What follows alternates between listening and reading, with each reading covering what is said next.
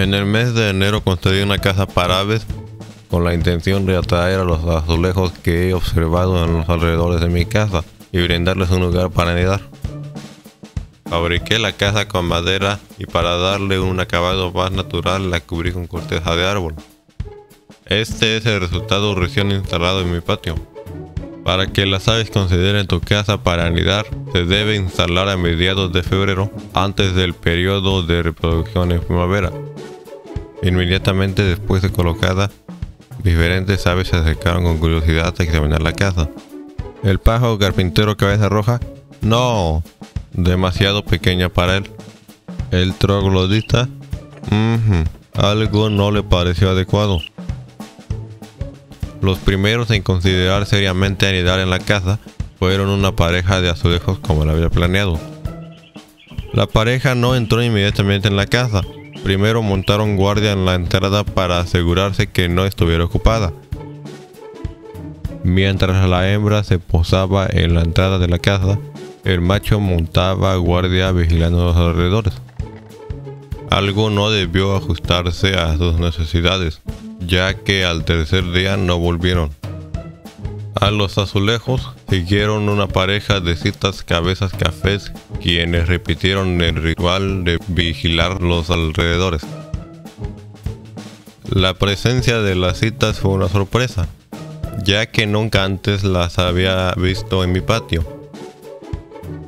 Después de dos días, las citas no volvieron.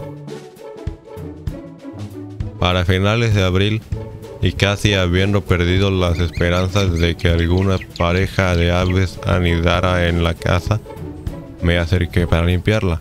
Al tocar la casa me llevé un gran susto cuando algo salió agitadamente. ¡Sorpresa!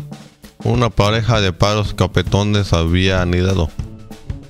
Para la segunda semana de mayo, pude observar a los padres limpiando heces de la casa.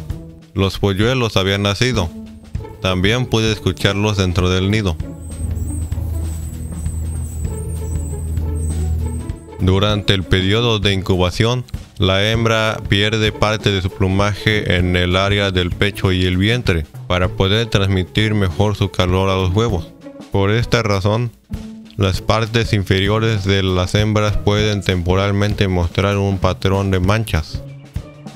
Durante aproximadamente 15 días, Pude ver a los padres yendo y viniendo alimentando a los polluelos sin parar durante todo el día.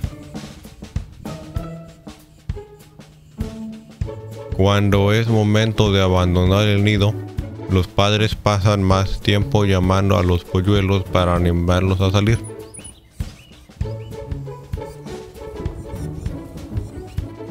Finalmente, uno de ellos da un vistazo al exterior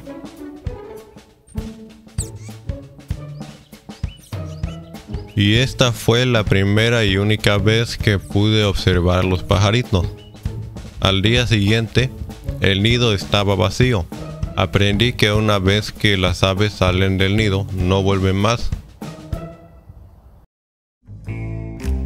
Cuando la casita ya era solo una decoración, llegó una visita inesperada. Una serpiente ratonera amarilla.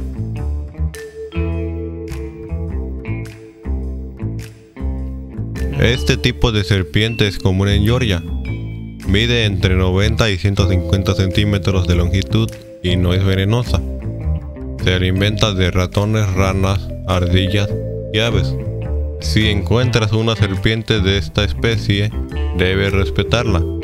Ella controlará la población de roedores y así evitarás que alguna víbora venenosa sea atraída a tu área.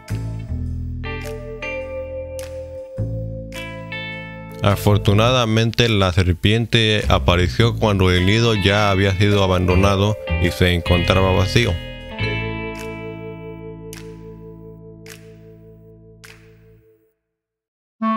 Esta historia tiene un final feliz para todos.